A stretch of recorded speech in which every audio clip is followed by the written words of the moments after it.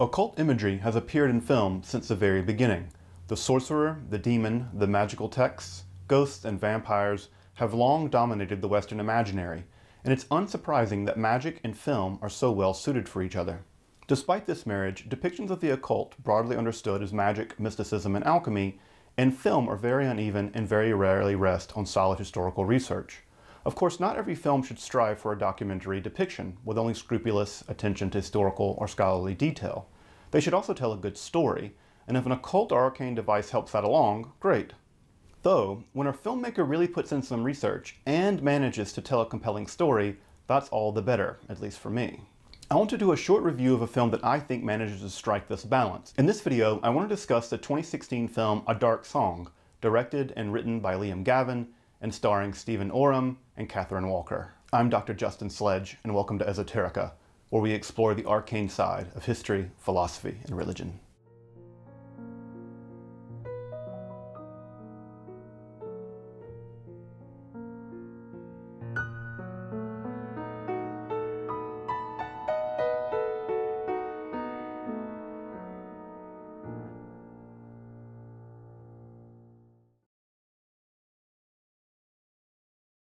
A couple of caveats to start. Number one, I'm not a film buff and can't claim the least bit of expertise when it comes to film analysis. What strikes me as interesting in a film might not be what grabs or impresses a real film critic. I'll be focusing primarily on how the occult functions in the film and why I think it handles this material in a refreshing and thoughtful manner. And two, spoilers ahead. If you haven't seen the film, maybe check it out first. I rented it on YouTube for about $3 American, and I'm sure you can stream it on the various online streaming services. A dark song follows a bereaved mother, Sophia, employing the ritual expert Joseph Solomon to perform the grueling and complex Abramelin ritual in order to summon Sophia's guardian angel. Why? To exact revenge on her son's killers. The film employs a kind of modified Faustian trope, that is, the use of the supernatural to gain power at some dire cost. In Faust's case, it was knowledge, but just as often it's vengeance or love, and given the Faustian arc, things will often go terribly, terribly wrong. Though this is where a dark song also does something interesting and novel with that Faustian trope. More on that later. The substantial thing that makes this film work for me is the world building done by the writer and director Gavin. It succeeds because it's very clear he's done his homework. Subtle nods abound. The main protagonist, Sophia, whose name means wisdom, may evoke the dangers of the evocation itself, calling back to the old Gnostic myth, where in that myth, Sophia, through her ignorance, begets the hideous demigod Yaldabaoth and the creator of this wretched physical reality and all of its demonic power. Sophia, the protagonist in A Dark Song, herself unleashes demonic power beyond her control in her quest for vengeance. The other protagonist, or antagonist, depending on how you want to spin him, Joseph Solomon, likely a Jewish name, evokes the biblical Solomon, who summoned demons in the service of the construction of the first temple, and the likely Jewish origins of the Abramelin ritual itself. I also like how this film disrupts traditional imagery of the conjurer. Our conjurer here, Solomon, is often depicted wearing badly fitting jeans, an old army jacket, and a bucket hat. While he still wears ritual robes throughout various parts of the film, we don't get the typical elderly bearded wizard or the snazzy, well-dressed handsome magician. His power is in what he knows, not how he appears. The central ritual that frames the film is the infamous Abramelin operation. In short, the Abramelin ritual is a complex series of conjurations, punctuated by a grueling 18-month schedule of fasting, ritual purity, abstinence, in which the practitioner evokes and binds a dozen major demons, after which one can command them based on who they are, with the eventual goal of summoning and conversing with one's own guardian angel. The angel will reveal divine and powerful secrets, though the text itself is conspicuously silent about what this revelation will entail. If you're curious, I'll be making a video on the Abramelin text itself. The text is itself very complicated and there's a very rich history there, so subscribe and stay tuned for that. Further, the film evokes the Abramelin in perhaps its most famous evocation, that of Aleister Crowley at the Boleskine House at Loch Ness.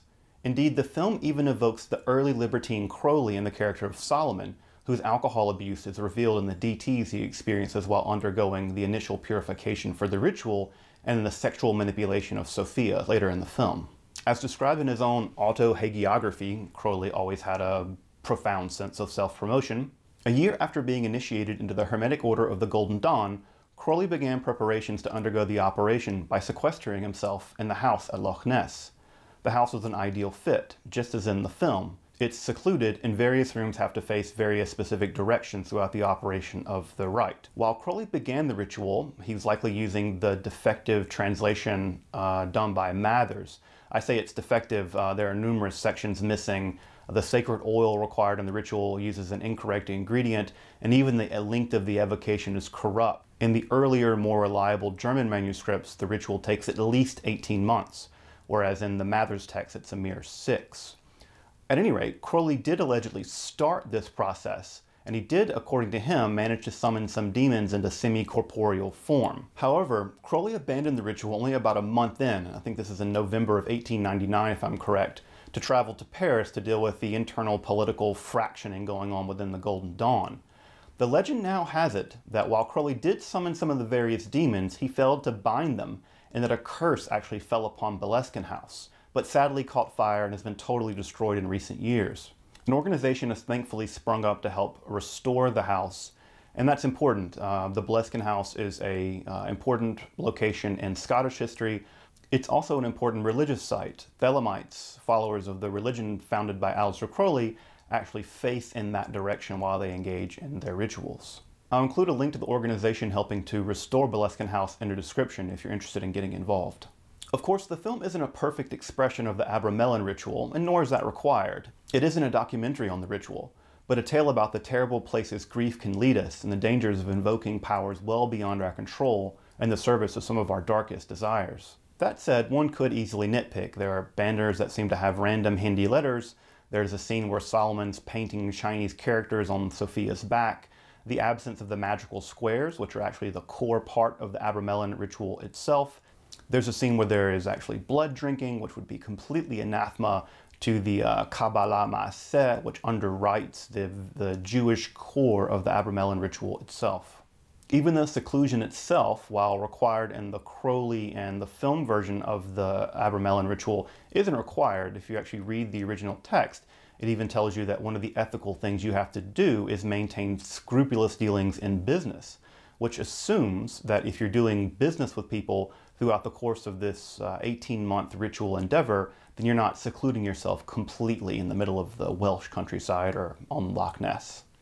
What the film does capture brilliantly is the grueling character of the ritual, the profound asceticism, repetitions, and inhuman patience required to effect the power of the ritual itself. In our days of instant gratification, on demand everything, and prime delivery, the Abramelin appears as an utterly impossible spiritual ascent and the film captures the extreme spiritual athleticism required by much of early and pre-modern spiritual practices. As I mentioned earlier, in the original text, it's only after 18 months of this work that one can begin to see the supernatural effects begin to appear. The film captures this well. Seasons pass in the film without there being any noticeable effect at all. This is shown in Sophia's increasing impatience with the ritual.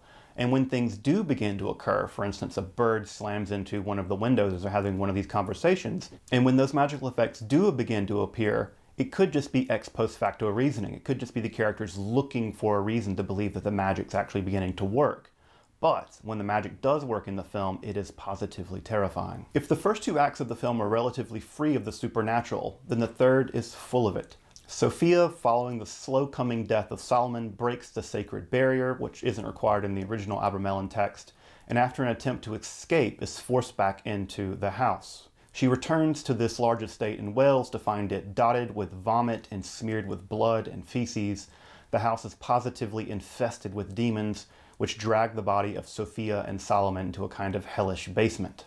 And it's here that we get something of the classical Faust trope the demons begin torturing Sophia by cutting off one of her fingers. And what one actually imagines is something like the same vengeance she wished upon the killers of her own child. Perhaps it's undergoing this torture that reveals to her the profoundly hollow nature of the very vengeance that she originally sought after. Her repentance is her breakthrough.